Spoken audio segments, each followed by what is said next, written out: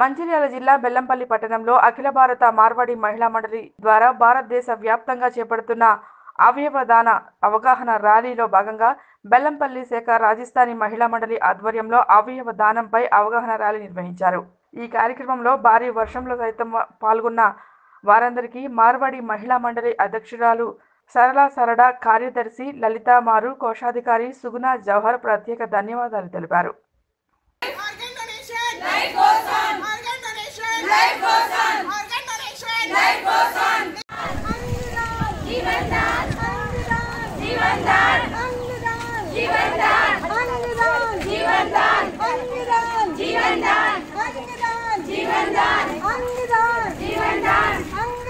जीवनदान जीवनदान जीवनदान जीवनदान बोडरावाली पुलिस स्टेशन बोडरावाली जीवनदान। अंगदान। जीवनदान। अंगदान। दान अंगदान। जीवनदान। अंगदान। जीवनदान। अंगदान। जीवनदान। अंगदान। जीवनदान। अंगदान। जीवनदान।